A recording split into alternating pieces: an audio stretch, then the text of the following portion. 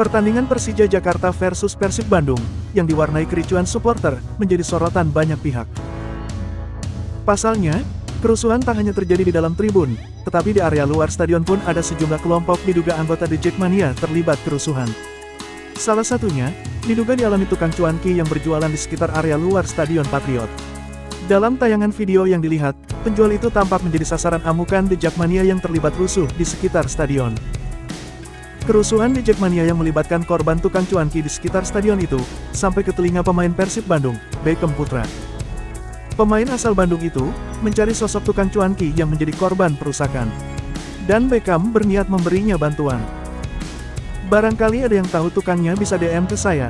Insya Allah ada rezeki sedikit, kata Beckham Putra dalam cuitannya di Twitter, Minggu, tanggal 3 September tahun 2023. Sampai saat ini, pedagang korban kerusuhan Jackmania itu belum ditemukan. Namun, beredar kabar dari balasan cuitan Beckham bahwa korban itu tidak menonton pertandingan, dan hanya berdagang di sekitar stadion. Kronologis pada saat itu, ada seseorang yang dituduh copet kemudian ditolong oleh sang pedagang, lalu ia menjadi korban karena dianggap sebagai gerombolan copet tersebut. Namun demikian, informasi tersebut masih ditelusuri lebih lanjut. Selain di luar stadion, Laga Persija kontra Persib juga diwarnai hujan botol di dalam lapangan usai peluit pertandingan berbunyi.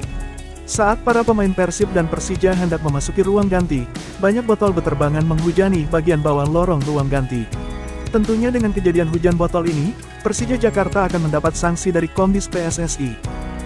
Menpora langsung beri respon tegas terhadap kerusuhan supporter yang terjadi. Menteri Pemuda dan Olahraga, Dito Aryo Tejo, menyayangkan terjadinya kericuhan supporter setelah laga Persija kontra Persib itu. Dito meminta supporter untuk lebih fokus ke esensi sepak bola ketimbang ego kelompok.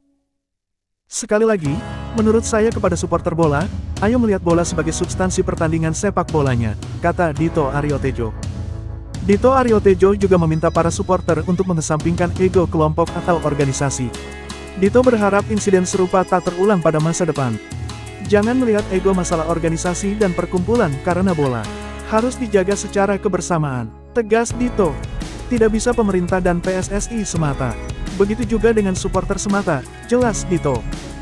Ketua Umum Jackmania, Diki Sumarno, mengaku organisasinya siap berbenah untuk mencegah terulangnya insiden tersebut. Maaf atas apa yang terjadi pada pertandingan kemarin sore. Tentunya banyak yang kecewa, banyak yang marah dan sebel atas beberapa kejadian tidak mengenakan yang terjadi, tulis Diki di akun Twitter. Usaha kami ternyata belum maksimal. Jackmania akan berbenah dan memperbaiki itu semua.